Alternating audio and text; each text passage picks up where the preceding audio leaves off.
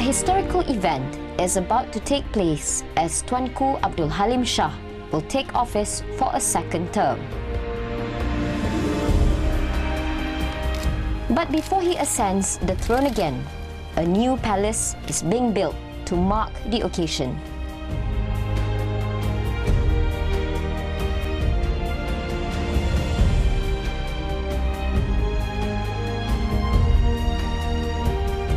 In exactly 365 days from today, the historical coronation will take place here.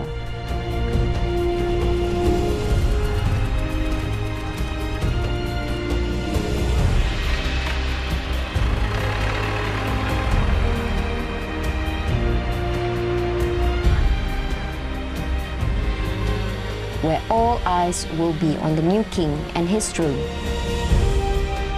the symbol of his royal reign.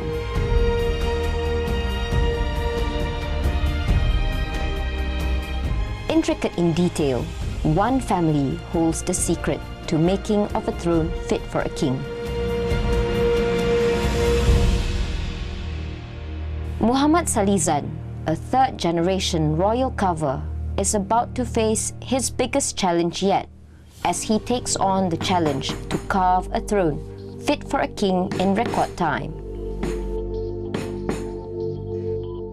Jadi kerja ni adalah merupakan satu cabaran yang yang uh, hebatlah uh, bagi saya dan juga stres yang tinggi sebab kita nak memenuhi orang punya expectation.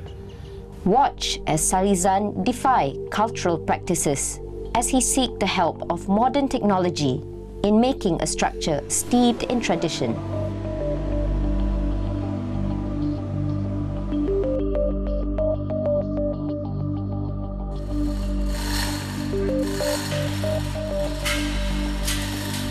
Will Salizan's defiance be paid off, or will he end up defaming his family name?